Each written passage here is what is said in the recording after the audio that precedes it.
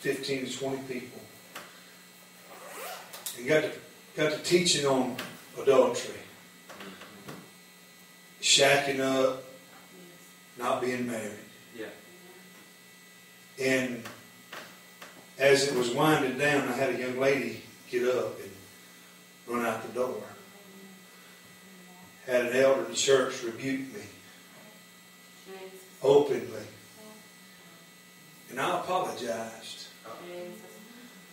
But I tell you what, when I got home, the Lord with me.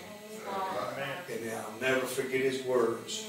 Brother Reed, his words was, don't you ever apologize for my word. Come on, brother. God's not sorry for his word. Amen. And if you believe in God's word, you won't be sorry for it either. Amen. Amen. Amen. That word is given to us to give us life. Right? Amen. Amen. Holiness is only hard if you buck against it. Amen. Amen. I got saved in it. Come on, brother. Amen.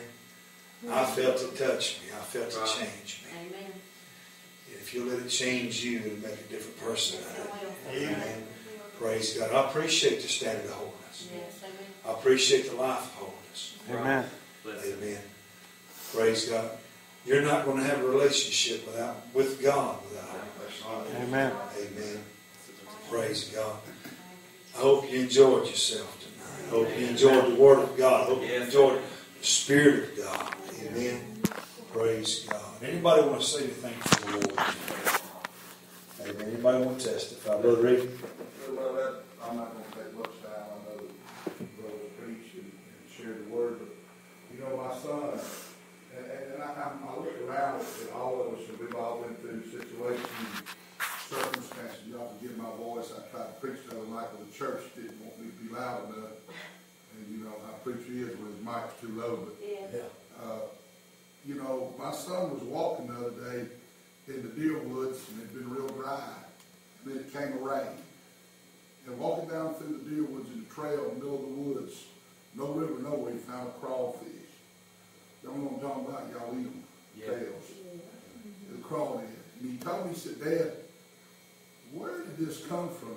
He said, I found, he took a picture of it, a big old crawfish he was on the deer trail and there's, you know, no water or anything like that. And I said, son, I've been told that those things can go in the ground, live two or three years with no water. Well, they'll find some water down there, and then when the time comes in the spring forward, I got thinking about that. When that rain came, yes. you know, the Holy Ghost has been described as the rain. Yeah. Yes. And I thank God in all of us in our travels when we got away from God or when we've, you know, been through situations that the Spirit of God come on us and there was something in there. Yeah. And the devil couldn't put it out. and He can't put it out. Amen. Because he didn't give it to us, brother. Amen. And I appreciate that, that, that, that he can pour his spirit out on us. Yes. And when we don't brother. even feel like we're full of the spirit and all, there's something in there. That's Even when you may have thought the devil put it out or maybe extinguished it, it was in there. And I got up and I testified the other night in the church and the preacher let me preach because he said, I seen something in you. There's a fire in you. Jeremiah said, I wasn't going to say a thing. Yeah. I wasn't going to mention Yeah. your name, Lord. Yeah, but He said, but it was like a fire shut up in my Come bones. on, brother. And, and, and, and it's so funny, that fire the other night when we were preaching, and hadn't been, hadn't been preaching, we've been working, you know, some of y'all know we've been in Louisiana and everything, and, and I knew, when I got behind the pulpit, I knew that I was rushing, you know what I'm saying? It ain't about the preacher. Yes. God said, you ain't gotta worry about preaching, I'm gonna move in the altar service. Yeah. I'm gonna put my spirit out, God's God started pouring his spirit out. Yeah. And brother, I'm telling you, this brother's telling the truth.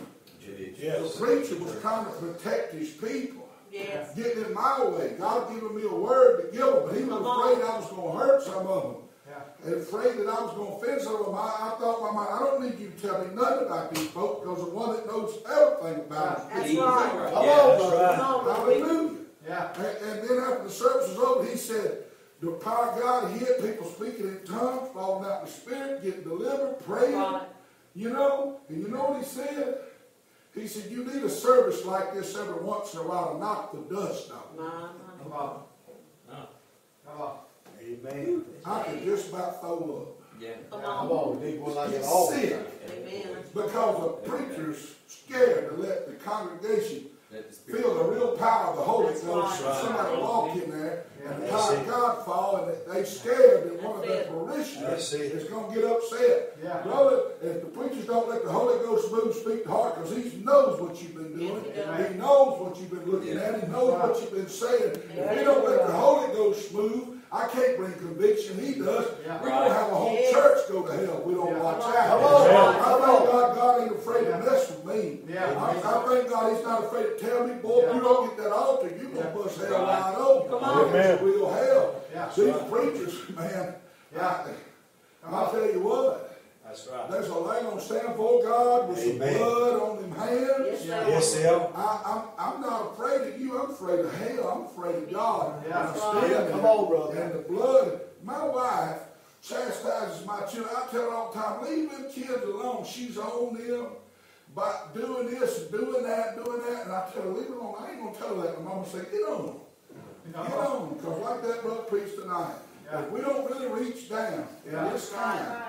Yeah. Man, I've been, I've been around. I've been in Louisiana. I've been over and went to churches. Man, wh- where's the, the power of the Holy Ghost? that's right. There's people that's hungry Yeah. for the power of the Holy Ghost. If God Amen. don't fall in your church, you ain't got church. Right. If That's it's right. not there, you don't have a gospel. Amen. If you don't have any conviction. There's a lot of Yes, blood sir. gonna be on people's hands. A lot of Amen. people's gonna die like this man preached tonight. Yes, Because they tried to mix it all in. Amen. We need an old-fashioned blood-bought Holy Amen. Ghost revival among Yes. our leadership. That's right. Bro, I went to a district meeting and they pulled a cat up there from Gulf Shores who made it build a million dollar facility, sitting up there with shorts with his hairy legs showing, telling us that we don't need to have holy singing in our uh, church, that when he takes offerings, he plays Freebird. I tell you what, we in a bad shape, and not a minister there. Of God, not a minister there refute that man, Amen. including me. Come on. You know what I'm saying? We're scared to open our mouths. Yeah. Yes. And say, you, what kind of cat we gonna let get up there Yeah. with, with his shorts on, his legs showing, telling us that we need to have chilling and grilling on Wednesday night? They're gonna be grilling, they're gonna be frying. Yeah. On the, the pits of hell and let the fire. I'm telling you, you're there. What he's preaching is right. You got to, Jesus said, I come to send a sword. I ain't come to make them feel good. I come to make brother get brother and sister. You know what I'm saying? We, the church is in a bad shape. Yes, it is. It's in a bad shape, and I just thought I'd say today that my pastor was trying to tell me to stop. You know what I mean? Yes. And God, God help him. Yes. Yes. See, Because I know he's a good man, but God help him. Yeah. God, I, I pray he has a bad dream or something.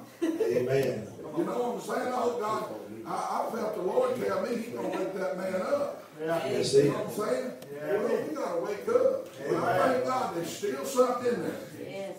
Brother Robbie, there's something in there. The devil tried to put out, but there's something in there. Keep Come on, Like that amen. old man. Come on. up Where you least expect it. Amen. I thank God he's not afraid Yeah. of this Brad being pulled in back. Amen. I Amen. Thank you for letting me say something. Yes, sir. tonight. Yes, sir. Amen. I just gotta, gotta, gotta share this with y'all. On the little church, I, uh, had a butane tank, we was out of gas, down to seven percent. And, uh, we, we, uh, said, well, maybe we'll make it to the summer and we'll buy gas this fall. Well, I went by the tank and I looked at it, ten percent, nine percent, about seven, eight percent. And I just happened to go by and, and, uh, looked at it Sunday afternoon, it's fifty percent. Praise God. And, and I said, I, said, who done that? Where'd it come from? Was our gas man felt sorry for her? Was it the owner of the gas company wanted us to have the gas? But we needed it. I just praise God for it. Now I got to thinking, Wednesday we was working after church while we was out of school. And I came in and somebody had pulled a motorcycle right up beside the gas tank. Big old, had a big old tank on it. I don't know, maybe that's who delivered that butane out of that motorcycle. But God can do it. And he did. I just rejoice in it. We went in there and cranked that heater wide open. Amen.